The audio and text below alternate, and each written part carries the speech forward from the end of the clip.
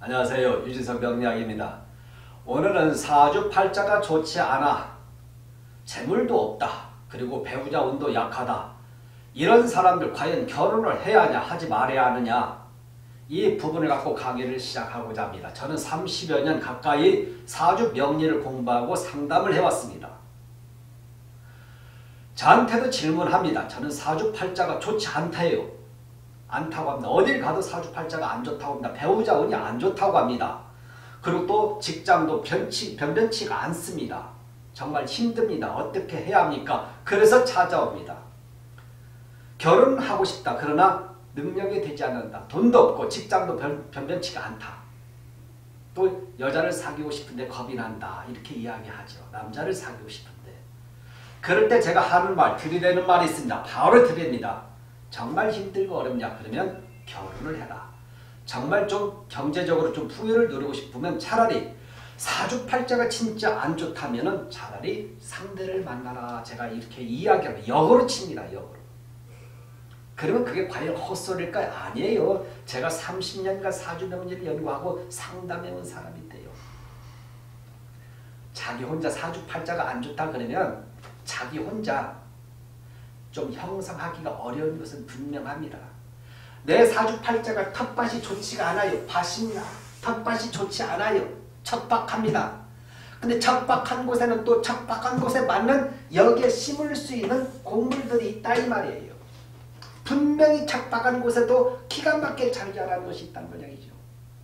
햇빛이 좋은 상태에 있는 곳이 있어서 풍요로운 성과를 거두는 데 있고 그렇지 않고 물속에서 새로운 것을 찾아하는 경우도 있고 여러 가지가 있죠. 다르다는 거죠. 그러면 내가 척박하다 사주팔자가 좋지 않다 그러면 일반적인 공유를 심으면 당연히 소출이 적죠. 결과 좋지 않죠. 그런데 여기에 분명히 맞는 여기에 기가 막히게 맞는 이 척박한 곳에서 맞는 그것이 공유가 있다. 그걸 심으면 괜찮다 이걸 이야기죠. 다시 연결시켜서 이야기하면 사주팔자가 좋지 않다 그러면 시간이 걸리더라도 나에게 맞는 사람을 선택하라 이걸 이야기해 주겠죠.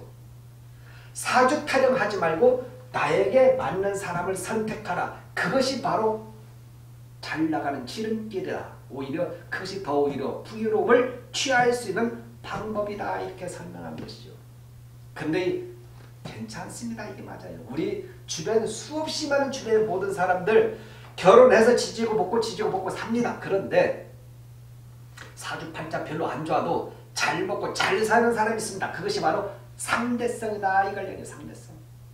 남편에게는 아내, 아내에게는 남편이다. 이걸 얘기죠.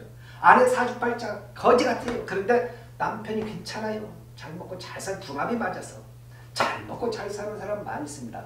다시 이야기합니다. 그러나 한 가지 조건은 있다. 사주팔자가 좋지 때 분명히 척박하다는 걸 얘기해. 척박하니까 분명히 나 혼자 그 텃밭에 그대로 있어서 나 혼자 자가 발전시키려면 어려우니까 이 척박한 곳에 무엇을 심어서 뭔가를 심어서 오히려 소출을 올리고 극대화시키는 것이 중요하다 이렇게 설명할 수 있죠. 그게 바로 누구냐? 뭔가를 찾는다는 것이 바로 상대 배우자다 이걸 이야기합니다. 그러니까 정말 돈을 벌고 싶다. 나는 돈이 없으니까 돈 벌어서 성공하겠다 하는 사람이 있어. 내가 돈 벌고 반드시 성공해서 좋은 여자를 성취하겠다. 그런 사람들 일부 그렇게 성공하는 사람이 있지만 대부분이 그러다가 깨구락지 시험 납니다. 깨구락지 수염 날 때 기다리는 거와 똑같아요. 아무리 기다려봐라 깨구락지 수염 나오는가 안 나온다는 거죠. 그러다가 70, 80 먹어요 이제는요. 그냥 휙휙 지나갑니다. 7, 80 먹어요. 새벽 그렇게 나가서 오히려 모든 부분에서 종결하지 마시라. 오히려 힘이 있을 때 내가 누군가를 찾아 나서는 것이 좋다 이렇게 저는 설명을 하겠습니다. 사주팔자가 좋지 않은 사람 분명히 오히려 그런 사람들은 또 돈이 없는 사람 돈 벌어서 결혼하겠다는 사람 그 사람들은 오히려 내가 누군가를 만나서 내가 약하니까 누군가를 만나서 정말 경제적으로도 풍요를 누리고 싶다. 또 성공하고 싶다 그렇다면 오히려 상대를 만나는 것이 더 방법이지 돈 벌어서 결혼하겠다 이 말은 웃기는 말이 될 수 있다. 일부는 괜찮습니다. 일부는 됩니다. 오늘 하나 여러 건 중에서 하나를 제가 한번 이야기해 보고자 합니다. 지금 이야기한 것의 진 종결자입니다. 갑진생입니다. 갑진생. 1964년생입니다. 그 다음에 정축입니다. 태어난 날이 한겨울의 정축.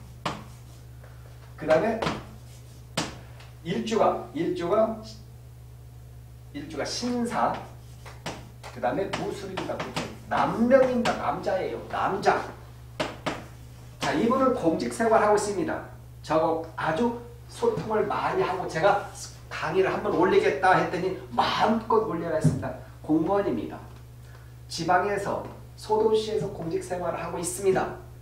그런데 이분은 어릴 적 어머니가 어디 가서 보면 너는 결혼하지 말고 혼자 살아라 이걸 귀에 딱지 않게 그 소리를 듣고 산 사람입니다. 그래서 자기도 그냥 은연중에 거기에 젖어서 결혼을 안 하려고 했다 이렇게 그러다가 40 가까이 돼서 결혼한 사주인데 그리고 또 자신이 우연찮게 어디서 찾아다니는 사주를 보면은 거의 대부분이 배우자운이 없으니까 배우자운이 약하니까 결혼은 오히려 하지 않는 것이 좋다. 혹은 결혼한 여자를 만나서 한 번 결혼한 여자를 만나서 하는 것이 좋다. 그런 이야기를 많이 들었다고 합니다. 지금도 자기 사주를 들이대면 대부분이 좋지 않다 이렇게 이야기합니다. 근데 지금 이분은 자기가 사주 명리를 좀 공부하고 있습니다.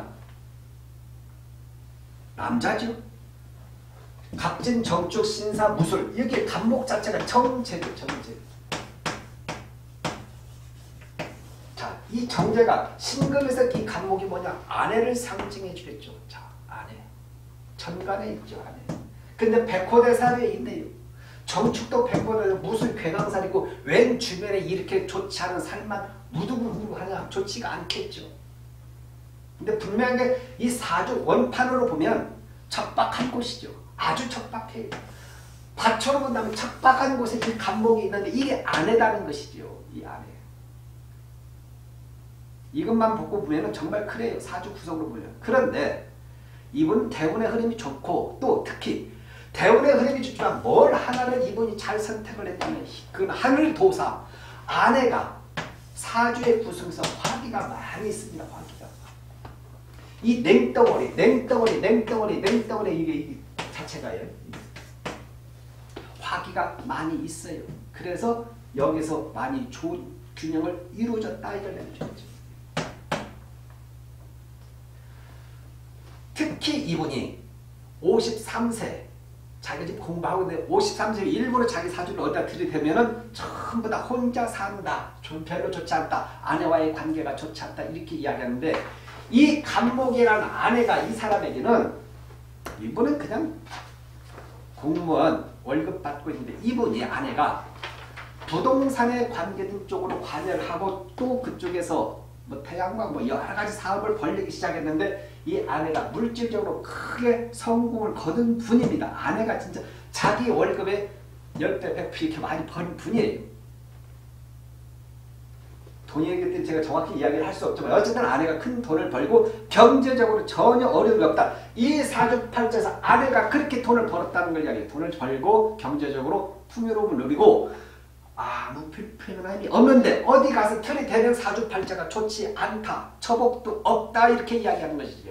사주의 대우를 보자. 정축, 무인이 들어갔죠. 무인. 기묘가 있겠죠. 기묘. 경직, 신상, 이모, 개미 이렇게 나죠.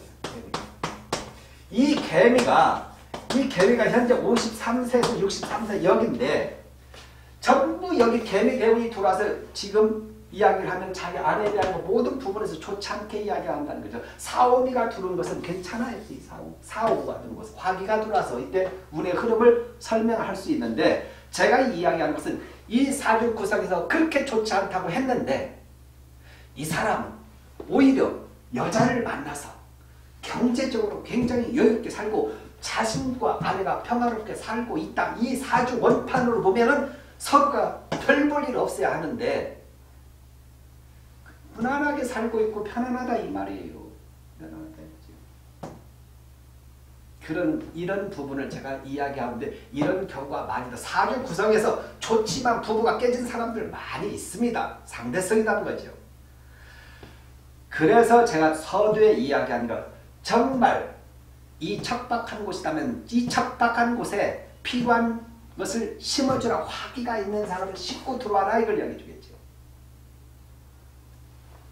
그래서 오히려 경제적으로나 모든 삶 자체에서 안정된 삶을 살고 있다. 단지 여기서 여러 가지 이제 또 사소한 소소한 문제는 있죠. 정신적 어떤 건강에 대한 부분이나 이런 부분은 있지만 그래도 괜찮게 살고 있다. 이걸 이야기해주고 이 대운도 이제 개미 대운도 2년만 지나면 되는데 올해 개미년 내년 갑진년 아무 하자가 없다는 걸 이야기해 주게 그러니까 무난히 개미 대운은 지나간다 이렇게 설명할 수가 있겠지. 제가 이야기하는 것은 이 시간도 내가 돈 벌어서 나는 직장도 변변치 않다. 돈 벌어서 결혼해야겠다. 그런 분들 또 사주팔자가 내가 좋지 않아서 결혼 안 해야겠다. 이렇게 생각을 갖고 있는 분들은 저는 만약 결혼하고자 그런 마음이 있다면 오히려 내가 사주팔자가 안 좋으니까 상대를 통해서 오히려 극대화될 수 있는 생각을 가져라. 사주팔자가 안 좋다고 해서 그렇게 끙끙할 거 아는데 오히려 이렇게 상대성을 만나니까 붐이 일어나더라 이걸 이야기해 주겠죠. 그래서 이 이야기를 여러분들이 한번 참고해 보시기를 바랍니다. 단 분명한 건 하나는 있다. 척박한 곳은 분명히 척박하다. 척박한 곳이죠. 척박한 땅이겠죠. 그렇기 때문에 아무나 갖다 심으면 소출이 없고 노력과 결과가 약하고 말라 비틀어지고 결과가 안 좋아서 그건 분명해요. 그러나 시간이 걸리더라도 여기에 맞는 이 토양에 맞는 곡식을 심게 되는다면 특용 작물을 심게 된다면 여기는 옥토로 변할 수가 있다. 조금만 이제 그러면서 서로가 다듬어 나가죠. 궁합이 있으니까. 다듬어 나가면서 이 좋지 않은 척박한 땅을 양질, 양지 땅으로, 양질의 땅으로 변화시킬 수가 있다. 이걸 이야기해 주겠죠. 사주가 좋지 않은 사람, 직장이 변변치 않아서 나 결혼 못하겠다는 사람 오히려 반대로 결혼을 통해서 오히려 극대화되는 세상에는 그런 사람들이 부지기수로 많이 있다. 뭣도 모르고 그냥 사주팔자가 안 좋게 결혼을 해요. 그러다가 안 좋은 사람도 있지만 이렇게 사주에서 주, 이것보다 훨씬 더 좋지 않은 사주 그런데도 잘 먹고 잘 사는 사람이 상대성에 있더라. 이 그러나 이걸 찾는 상대성을 찾는 것은 그래도 조금은 시간이 필요하고 또 이렇게 있으면 여러 명을 좀 만나보는 게 좋겠죠. 우연하게 만나서 결혼하기는 이것은 실패할 확률이 높다. 그러니까 조금 맞춤형 여기로 운에서 들어와서도 그래도 좋은 여성을 만났지만은 그러나 이렇게 있을 때 운이 약할 때는 운에 약하지만 그래도 여기에 맞는 이 토양에 맞는 사람을 선택하라. 그러니까 여러 명 중에서 오히려 여러 명을 만나는 그 과정, 노력을 하는 것이 직장에서 열심히 일하는 것 못지않게 중요하다. 그래서 토요일, 일요일 시간만 되면 사주팔자가 안 좋은 사람들 시간만 난다면 들과 산으로 가고 어디든 모임으로 가서 사람들 헌팅하는 것이 좋다. 그 중에서 나에게 가장 좋은 사람을 만나는 것이 좋다. 그리고 난 이후에 성공의 길로 걸어가라 이렇게 설명할 수 있는 것입니다. 척박한 땅일수록 오히려 거기에 맞춘 맞춤형으로 가는 것이 좋다. 그럴 때 사주 명리는 좋은 도움을 줄 수가 있습니다. 여러분 한번 참고해 보시기 바랍니다. 감사합니다.